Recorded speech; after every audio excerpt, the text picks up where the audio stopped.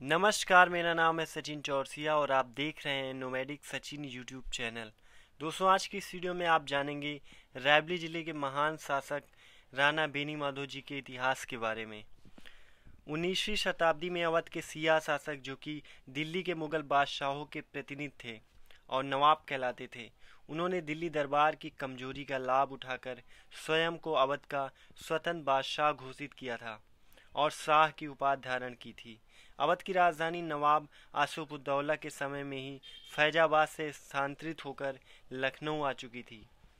अवध की बादशाहत कबूल करने वाले पहले नवाब गाजीउद्दीन हैदर थे, जिन्होंने शाह अवध के रूप में 1819 से 1827 तक शासन किया था। अवध के आखिरी बादशाह वाजिद अली शाह अठारह छप्पन थे। चूँकि वाजिद अली शाह नवाब भी कहे जाते थे। इसलिए कुछ लोगों ने उनकी बादशाहत पर प्रश्न चिन्ह भी खड़े किए, पर इतिहास ने उसे स्वीकार नहीं किया। वाजिद अली शाह के समय रायबरेली जनपद के विख्यात शंकरपुर गढ़ के सामंत राणा बेनी माधो थे। राणा को शंकरगढ़ की तालुकेदारी अपने चाचा राजा शिव प्रसाद सिंह से प्राप्त हुई थी। शिव प्रसाद सिंह की दो संतानें थी, एक पुत्री और दूसरा पुत्र फतेह बहादुर। फतेह बहादुर की अल्पायु में ही मृत्यु हो गई थी। परिणाम स्वरूप राजा शिव प्रसाद को उत्तराधिकारी हेतु अपने भतीजे पर विचार करना पड़ा। राजा साहब के दो छोटे भाई थे, राम नारायण और शिव गोपाल सिंह। शिव गोपाल सिंह संभवतः संतान थे, किंतु राम नारायण के तीन पुत्र थे, बेनी माधो नरपत सिंह और जोगराज सिंह। इनमें बेनी माधो सबसे बड़े और प्रतिभाशाली थे। तीर तलवार और भाला चलाने में वे बेजोड़ थे। दंगल और अखाड़े में भी वे सबसे आगे थे। अस्त्र संचालन की उनकी प्रतिभा अद्वितीय थी। उनके इन्हीं गुणों पर रीछ कर राजा शिव प्रसाद ने उन्हें गोद लेकर अपना उत्तराधिकारी घोषित कर दिया था। कालांतर में तालुकेदारी की कमान हाथ में आते ही बेनी माधो ने अपनी भू संपत्ति का विस्तार तो किया ही, एक अच्छी खासी सेना भी संगठित कर ली। बेनी माधो का विवाह बाराबंकी जनपद के कमियार स्टेट की राजकुमारी चंद्रलेखा से हुआ था। चंद्रलेखा ने एक पुत्र को जन्म दिया, जिसका नाम रघुराज सिंह था। रायबरेली उन्नाव रेल मार्ग पर स्थित रघुराजपुर रेलवे स्टेशन इन्हीं के नाम पर है।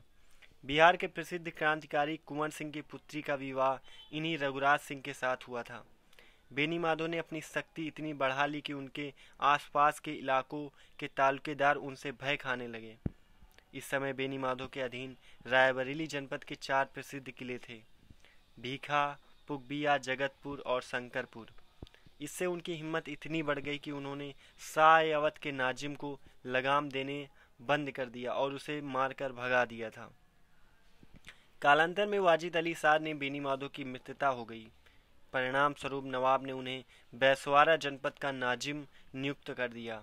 उस समय इस क्षेत्र में गांजर के तालुकेदार नवाब को लगाम देना नहीं चाहते थे। बेनी माधो ने बड़ी चतुराई और पराक्रम से अवध के राज्य के लिए इन तालुकेदारों से राजस्व वसूल किया था। इस असाधारण वीरतापूर्ण कार्य के लिए उन्होंने नवाब ने उन्हें सिर सिरमौर राणा बहादुर की उपाधि से अलंकृत किया। राणा बेनी माधो का व्यक्तित्व असाधारण था। वे सुगृधित देदृष्ट वाले मछोले कद के वीर पुरुष थे। रोबीली दाढ़ी, लंबी नाक तथा निश्चयात्मक दृष्टि उनके व्यक्तित्व की शोभा थी। राणा की देवी भक्ति और देवी सिद्ध दोनों ही इतिहास से प्रसिद्ध हैं।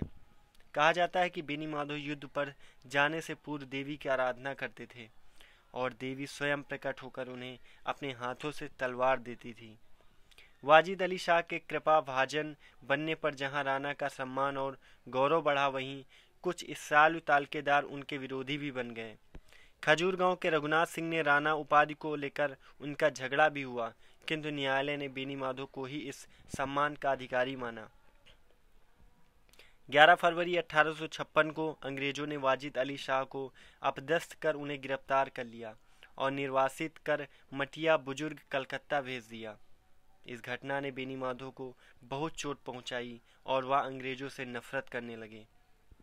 अठारह ईस्वी में अंग्रेज़ों ने भू राजस्व नया बंदोबस्त के अंतर्गत अवध के तालुकेदारों की लगभग 50 प्रतिशत ज़मीन या पर यह आरोप लगाकर हड़प ली कि यह उनकी वास्तविक संपत्ति नहीं है और किसानों को दबाकर या जालसाजी द्वारा अर्जित की गई है। इस घटना ने आग में घी का काम किया, अवध के सब जमींदार और तालकेदार अंग्रेज़ों के खिलाफ हो गए। खुद बेनी माधो सिंह के दो सौ उनतालीस गाँव में से 119 गाँव अंग्रेज़ों ने अपने अधिकार में कर लिए यह दमन चक्र यहीं नहीं रुका। बेनी माधो ने यह भी कहा कि एक अक्टूबर 1856 से पूर्व वे अपने सारे किले और तोपों को अंग्रेज़ों को सौंप देंगे। बेनी माधो यह सुनते ही आग बबूला हो उठे और उन्होंने अंग्रेज़ों के समझ समर्पण करने से इनकार कर दिया। हालाँकि अंग्रेज़ों ने बेनी माधो को यह आश्वासन भी दिया कि यदि वे समर्पण कर देते हैं तो उनके साथ हुई ज्यादतियों पर फिर से विचार किया जाएगा। लेकिन बेनी माधो को धोखेबाज अंग्रेज़ों पर जरा भी यकीन न था। अंग्रेज़ लेखकों ने अपनी राय ज़ाहिर की कि राणा ने अपने एक शरणागत रिश्तेदार को रक्षा का वचन दिया था, इसलिए उन्होंने समर्पण नहीं किया। किसी का विचार है कि राणा के हृदय में कोई और ही बड़ी दृढ़ अनुभूति थी, जिसने उन्हें डिगने न दिया। अंग्रेज़ों की बात न मानकर राणा ने पुनः अपनी शक्ति विकसित की। उस समय सलोन रायबरेली के अंग्रेज़ अधिकारी ने अपने सीनियर्स को सलाह दी कि इस समय राणा को छेड़ना खतरनाक होगा और अभी इधर से ध्यान हटा लेना ही उचित है। यह राहत पाकर राणा ने अपनी शक्ति और ही बढ़ा ली। लखनऊ में क्रांति का सूत्रपात 30 मई अठारह की रात को हुआ। उस समय बेनी माधो पंद्रह हज़ार सैनिकों और सहयोगी तालुकेदारों के साथ वहाँ उपस्थित थे। बेली गार्दर रेजिडेंसी और आलमबाग के युद्ध में राणा की महत्वपूर्ण भूमिका रही। बेगम हज़रत महल ने इन युद्धों में राणा के अद्वितीय पराक्रम से प्रभावित होकर उन्हें दिलेर जंग का खिताब फरमाया। मेजर कैप्टन बीर भंजन मांझी ने अपनी रिपोर्ट में लिखा, क्रांतिकारी के अभूतपूर्व पराक्रम में कुछ दिनों के लिए लखनऊ पर बेगम पर आधिपत्य हुआ। लखनऊ को यह अस्थायी आज़ादी दिलाने में राणा बेनी माधो की अहम भूमिका थी, जिसके लिए बेगम ने राणा की खिलत भी भेंट की थी। इस आज़ादी का लाभ उठाकर बेगम हज़रत महल ने राणा की सहायता से 5 जुलाई अठारह सौ सत्तावन को अपने 12 वर्षीय बेटे की ताजपोशी नवाब अवध के रूप में की। कहा जाता है कि इस समारोह में अवध की प्रसिद्ध रक्कासा उमर वाजन अदा अपनी गज़ल पेश की थी। राणा बेनी माधो अक्टूबर अठारह सौ सत्तावन में अपने शंकरपुर दुर्ग के क्षतिग्रस्त भाग की मरम्मत में व्यस्त थे। उसी समय तिलोई के तालकेदार ठाकुर प्रसाद अंग्रेज़ों से मिलकर नवाब बिरजिस कद्र के विरुद्ध हो गए। इतना ही नहीं, उन्होंने अमावा के पठानों का किला जीतकर उस पर अपना अधिकार कर लिया। बिरजिस कद्र के विशेष अनुरोध पर राणा ने ठाकुर प्रसाद को परास्त कर अमावा का दुर्ग पठानों को वापस किया। मार्च अठारह में अंग्रेज़ों ने क्रांतिकारियों का दमन कर लखनऊ पर पुनः आधिपत्य कर लिया। बेगम हज़रत महल बहराइच की ओर चली गई। राणा को आदेश मिला कि बैसवारा वापस चले जाएँ। बेनी माधो ने इस आदेश का अनुपालन किया और दस हज़ार सैनिकों की एक सुदृढ़ सेना संगठित की। लखनऊ पर नए सिरे से आक्रमण करने के पूर्व राणा ने सर्वप्रथम स्वाधीनता के नाम पर अनेक पर्चे छपवाए और उन्हें लखनऊ जनपद के कोने कोने में बंटवाया इसके बाद उन्होंने विधिपत प्रसारित की, नगरी में रहने वाले समस्त भारतीय नगर छोड़ दें, क्योंकि शीघ्र ही फिरंगियों पर उनका प्रचंड आक्रमण होने वाला है। राणा की इस घोषणा को अंग्रेज़ दहल उठे, यद्यप इस चुनौती में राणा विशेष सफल नहीं हुए, पर उन्होंने अंग्रेज़ों को अत्यधिक क्षति पहुंचाई। जिला न्यायाधीश कानपुर द्वारा कैप्टन म्यूर को प्रेषित तार दिनांक 25 अप्रैल अठारह सौ अट्ठावन के अनुसार राणा ने छापामार आक्रमण को बल पर लखनऊ तथा कानपुर के बीच ग्रैंड ट्रंक रोड को बुरी तरह आतंकित कर रखा था। राणा, जैसे दूसरे शत्रु को समाप्त करने का दायित्व तो अंग्रेज़ सेनापति होप ग्रांट पर था। अवसर पाकर 12 मई अठारह सौ अट्ठावन को होप ग्रांट ने सिमरी के मैदान में राणा की सेना पर आक्रमण कर दिया। किंतु होप ग्रांट को पराजित होकर भागना पड़ा। इसी बीच 5 जून अठारह को प्रख्यात क्रांतिकारी मौलवी अहमदुल्ला शाह का निधन हो गया। इसके प्रभाव से क्रांतिकारी गतिविधियाँ कुछ थम सी गईं। अंग्रेज़ भी गर्मी से व्याकुल थे, अतः कुछ झड़पों के अलावा विद्रोह लगभग शांत रहा। किंतु अब बेनी माधो को नेस्तानबूत करने का दायित्व अंग्रेज़ सेना के कमांडर इन चीफ कालिन काम्बेल को सौंपा गया। इन्हीं काम्बेल को उसकी विजयों और उपलब्धियों के लिए 1860 में लॉर्ड क्लाइड की उपाधि मिली थी। 5 नवंबर अठारह सौ अट्ठावन को उदयपुर कैंप से मुख्यालय के राजनैतिक प्रतिनिधि मेजर बैरो ने राणा के पास एक पत्र और अंग्रेज़ सामग्री विक्टोरिया के घोषणा पत्र की नकल भेजी, जिसमें राणा के पूर्व अपराधों को क्षमा करने का आश्वासन देते हुए राणा को संधि करने हेतु तो आमंत्रित किया।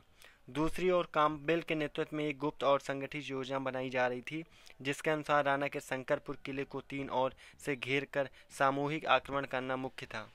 जो दिशा छोड़ी गई, उधर सई नदी बहती थी और घना कंटीला जंगल था। अतः इधर से सैसन एवं सब परिवार राणा का भाग पाना संभव नहीं समझ पाया।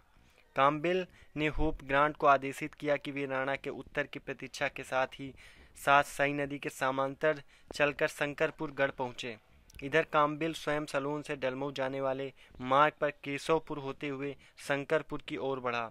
शंकरपुर से लगभग तीन मील पहले ही बिछवारा ग्राम के निकट रुककर काम्बेल ने किले की उत्तर पूर्व दिशा की ओर मोर्चा बनाते हुए किले को घेर लिया। ब्रिगेडियर इल्वे को निर्देशित किया गया कि वे उत्तर पश्चिम की ओर शंकरपुर दुर्ग को घेर लें। राणा के बेटे रघुराज सिंह का एक पात्र अंग्रेज़ों को 5 नवंबर अठारह सौ अट्ठावन की रात में मिला। जिसमें लिखा था कि मुझे आप श्रीमन का एक परवान मिला है और उसके साथ घोषणा पत्र जिसमें अनुक्रम में मैं कहना चाहता हूँ कि मैं पहले इस गाँव का काबिलियत दार था और अभी भी उस स्थिति में हूँ और यदि अंग्रेज़ सरकार ऐसा ही बंदोबस्त मेरे लिए जारी रखेंगी तो मैं अपने पिता बेनी माधो को निकाल दूँगा। वे बिरजिस कद्र के पक्ष में हैं, किंतु मैं अंग्रेज़ सरकार का वफादार हूँ और मैं अपने पिता के फेर में नष्ट नहीं होना चाहता। इस पत्र ने अंग्रेज़ों को चक्कर में डाल दिया। वह पर विश्वास करें या ना करें, सामग्री विक्टोरिया के घोषणा पत्र के कारण जोखिम कोई भी उठाने का तैयार न था। अभी वह कोई निर्णय ले, तभी राणा बेनी माधो का पत्र भी उन्हें मिला। राणा ने लिखा था, इसके बाद किले की रक्षा कर पाना मेरी असंभव है। इसलिए मैं किले का परित्याग कर रहा हूँ किंतु मैं आत्मसमर्पण कभी नहीं करूँगा, क्योंकि मेरा वजूद मेरा नहीं, बल्कि मेरे बादशाह का है। राणा बेनी माधो का पत्र लाने वाला अंग्रेज़ का जासूस था। उसने बताया कि इस समय भी राणा के पास चार हज़ार सैनिक, दो हज़ार घोड़े तथा चालीस तोपे थी। इस सूचना ने अंग्रेज़ सर अधिकारी स्तब्ध रह गए और उनकी सेना में भय की लहर दौड़ गई। किंतु यह सूचना सत्य प्रतीत नहीं होती। यदि राणा के पास इतनी सेना होती तो वह युद्ध अवश्य लड़ते। उनका किला भी मज़बूत नहीं रह गया था और सुरक्षा की दृष्टि से उसमें तमाम खामियाँ थी। उस स्थिति में राणा के लिए अंग्रेज़ों से युद्ध करना, आत्मघात करने जैसा था। सौभाग्य से ब्रिगेडियर इलवे देर से आदेश मिलने के कारण शंकरपुर समय से नहीं पहुँच सके और राणा को भागने का अवसर मिल गया। वे अपनी सेना कोस परिवार तथा असबाब सहित कब किले से बाहर निकल गए। काम्बिल और मेजर बैरो को पता तक न चला। 16 नवंबर अठारह सौ अट्ठावन की प्रातः अंग्रेज़ों को पता चला कि राणा से दूर निकल भागने में सफल हो गए।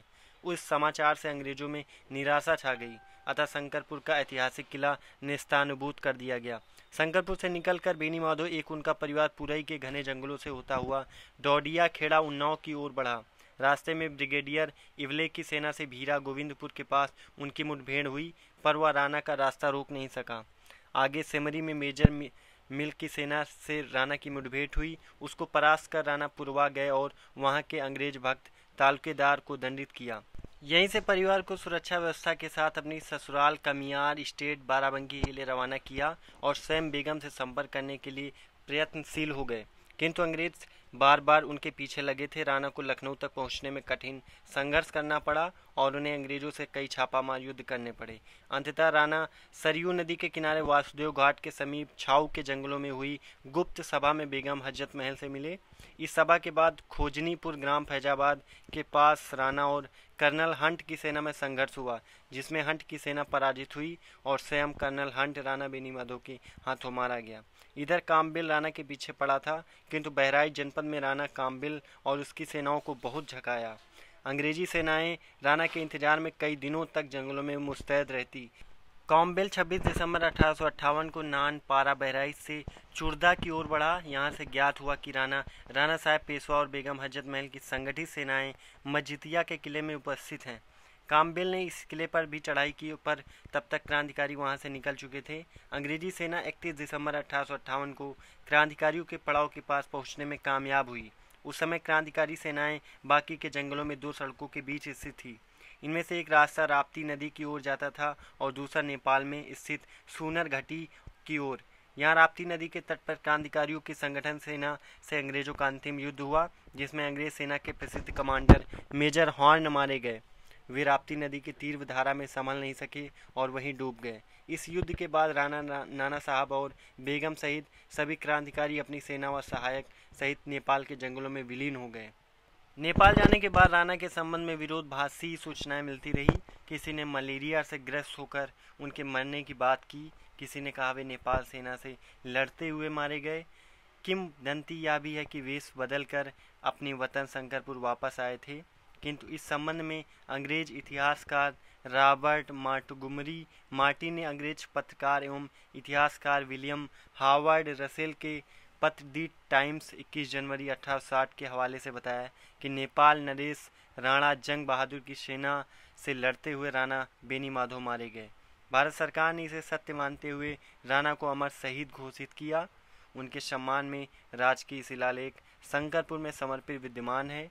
राणा शहीद हुए या उनकी स्वाभाविक मृत्यु हुई, इस पर बहस हो सकती है, पर बैसवारा ही नहीं, पूरे अवध में आज भी वे अमर हैं।